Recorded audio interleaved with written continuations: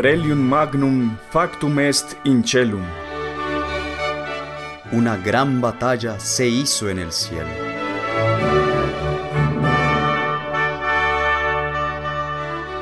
De la fría gruta de Belén surgieron todos los esplendores de la Santa Iglesia y de la civilización cristiana. Hacía cinco milenios que la humanidad esperaba la unión de los cielos con la tierra. En la noche en que nació Dios hecho hombre, este plan se realizó en María Santísima y en el corazón del siervo a quien tanto amaba, San José. Solo ellos, sin embargo, vieron toda la grandeza de lo que pasaba. De manera simple y escondida, la victoria sobre los malos y la derrota del demonio estaban decididas para siempre. En este momento y en los meses subsiguientes, en el fondo de los infiernos se sintió que el poder de Dios se había manifestado con fuerza en la tierra.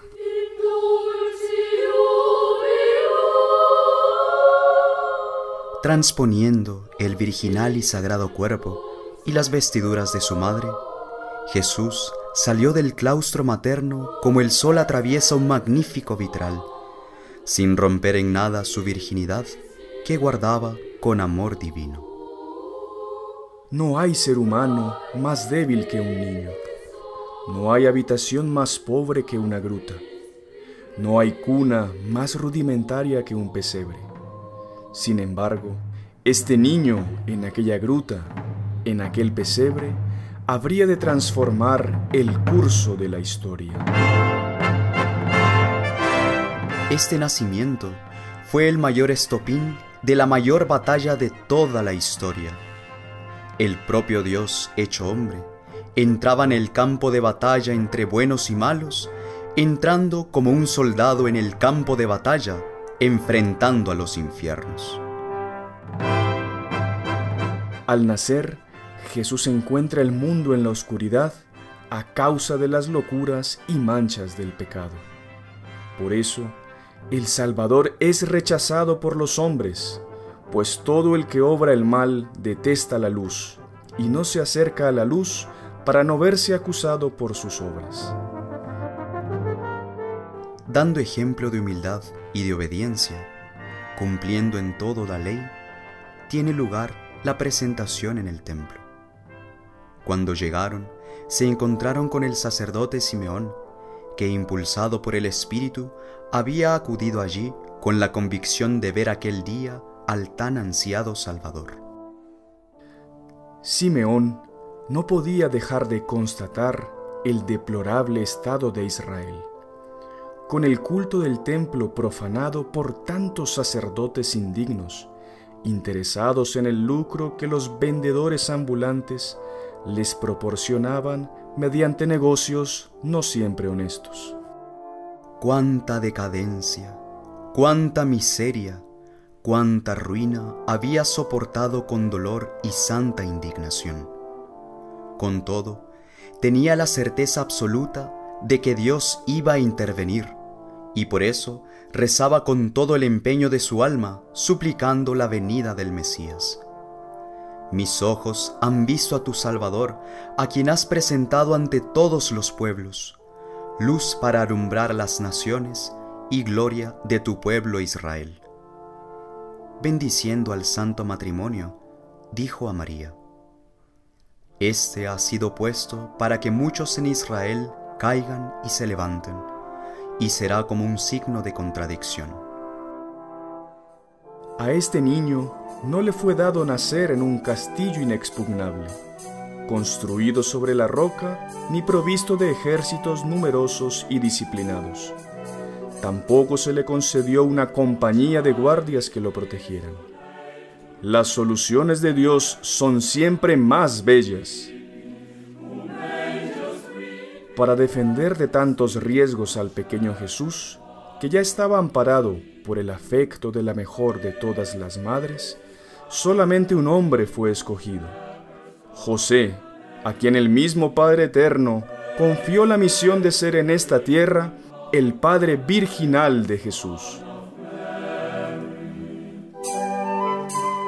Al no tener pista alguna de quién podría ser el niño profetizado por los antiguos oráculos del pueblo judío, Herodes montó en cólera Lleno de un furor violento, reaccionó como un cobarde asesino. Mandó matar a todos los niños que pudieran amenazar su trono en Belén y sus alrededores. Escapando astutamente de la hazaña de Herodes, es llevado por San José tras el aviso del ángel. Toma al niño y a su madre y huye a Egipto.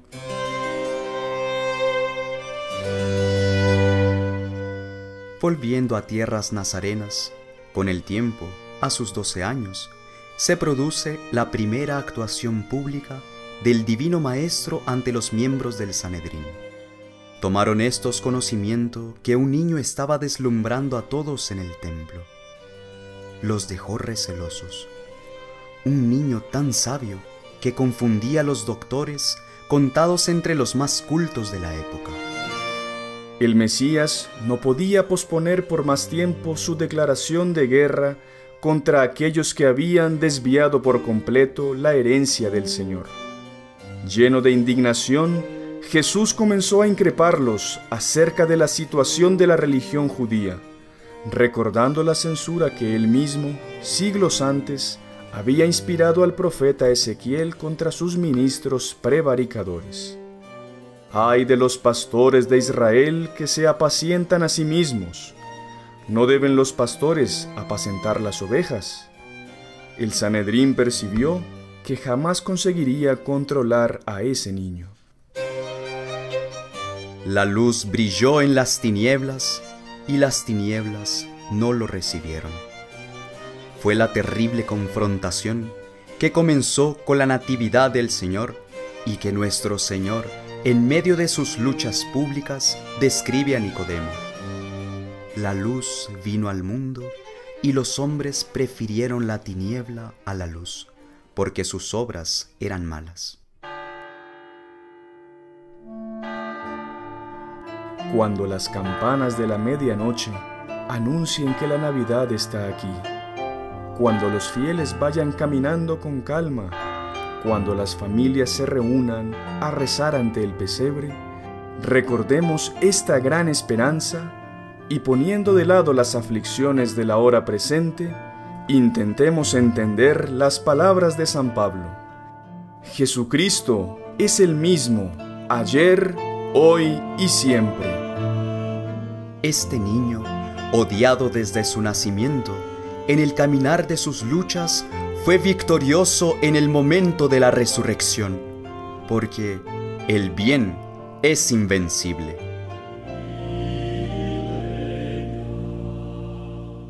Pensando en estas verdades, comprendamos sin embargo que por grande que sea el mal, todas las puertas de la esperanza estarán abiertas para nosotros si nos volvemos hacia el niño Jesús nacido en Belén. Esta es la consoladora esperanza que la Navidad nos trae.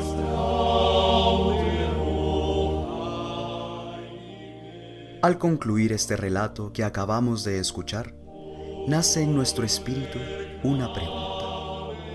¿Y yo? ¿Qué voy a hacer por nuestro Señor Jesucristo? Estoy dispuesto a luchar por Él ¿Cuál será mi actitud delante de su nacimiento? ¿Será la de Nuestra Señora y San José? ¿Será la de los pastores y los reyes magos? ¿O será la de Herodes y del Sanedrín? Estoy dispuesto a renunciar a todo lo que me aparta de Jesús y de la Santa Iglesia cuando las luchas de la vida se presentan arduas y difíciles, cuando la incomprensión y la persecución se abatan sobre nosotros, cuando las tempestades rujan amenazadoras y todo parezca perdido, exultemos y alegrémonos, pues se aproxima la victoria. Confiemos sin reservas en María y proclamemos con alegría, Señora, Siempre invencibles son vuestros hijos, si nunca dudan de vuestro amor.